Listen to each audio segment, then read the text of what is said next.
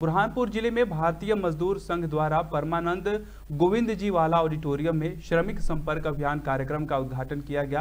कार्यक्रम में मुख्य अतिथि के रूप में सांसद ज्ञानेश्वर पाटिल, पूर्व मंत्री और बुरहानपुर विधायक अर्चना चटनीश और महापौर माधुरी पटेल ने भाग लिया। इस अभियान की शुरुआत भारत माता, भगवान विश्वकर्मा और भारतीय मजदूर संघ के संस्थापक स्वर्गीय दंतो पंत ठेंगड़ी के चित्रों पर पुष्पांजलि और दीप प्रज्वलित करके की गई। बता दें कि यह अभियान भारतीय मजदूर संघ के 70 वर्ष पूरे होने के उपलक्ष्य में शुरू किया गया, जो कि 20 दिसंबर तक चलेगा। और इसका उद्देश्य मजदूरों के बीच संघ की योजनाओं और गतिविधियों के बारे में जानकारी फैलाना है।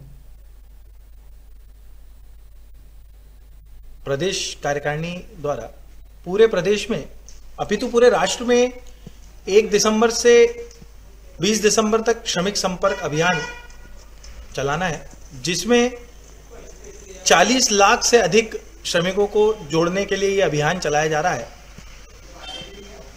आज 1 दिसंबर 2024 इस अभियान का उद्घाटन दिवस भारतीय मजदूर संघ जिला कार्यकारिणी द्वारा और समस्त अनुषांगिक संगठनों द्वारा गोविंद जी वाला ऑडिटोरियम में यहाँ मनाया गया।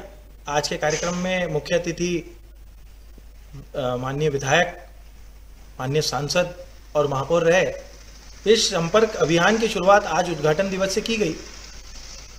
और ज़िले के लिए इस संपर्क अभियान के तहत बीस हज़ार से अधिक श्रमिकों को संपर्क करने का जो लक्ष्य है, वो हमें प्राप्त करना